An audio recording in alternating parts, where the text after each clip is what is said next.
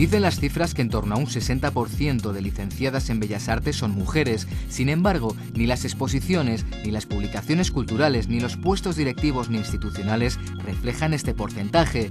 Todo lo contrario, la balanza, dicen, retrata una clara discriminación para denunciar la escasa presencia que tienen las artistas, por ejemplo, en las colecciones de los museos contemporáneos, un grupo de ellas realizó una acción a las puertas de Reina Sofía en Madrid han tirado de metáfora y nos envían este vídeo a nuestra sección Tu Ruedas esta semana.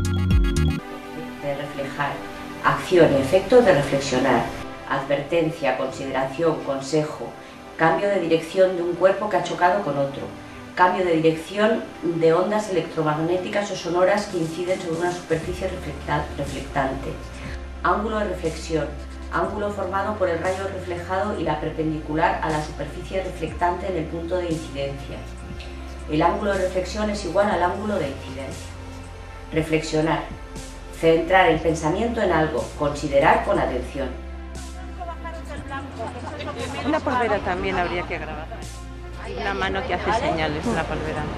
Eso lo podemos hacer en cualquier momento. Ahora cuando diga tres... Consistía en reflejar precisamente ese mundo que nos parecía injusto eh, por una cuestión minoritaria de, las mujeres en el arte y eh, su visibilidad y por lo tanto pensamos que había que hacer una reflexión. Para eso lo que hicimos fue tomar un elemento tan femenino como la polvera y los espejos y reflejar con rayos de sol haciendo una acción poética y absolutamente estética por otro lado, como esos rayos y esos reflejos eh, empezaban a, bueno, pues a, dibujar toda una, toda una estética en la fachada del museo, dando a entender que las mujeres efectivamente todavía dentro de esas instituciones estamos fuera y después de iluminar lo que era el cartel de, Reina Sofía, hacer una serie de señales como en su tiempo hacían por ejemplo los, los contrabandistas con la intención de mostrar que nuestro mundo, pues igual que, que el de ese mundo contrabandista, tiene unas, unas, eh, unos elementos de calidad absolutos, ¿no?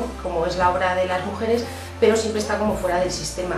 Entonces, el Reina Sofía es un museo de arte contemporáneo, entonces precisamente para evitar eh, lo que puede pasar en los museos clásicos, que es mm, la no existencia de, de, ningún hombre femenino, a pesar de haber estado pintando en siglos atrás, pues quiere decir que ahora se puede corregir, por lo tanto Reina Sofía eh, significa realmente eh, la posibilidad de dar la entrada en el, mundo contemporáneo a las mujeres que están haciendo arte y que cada vez son más.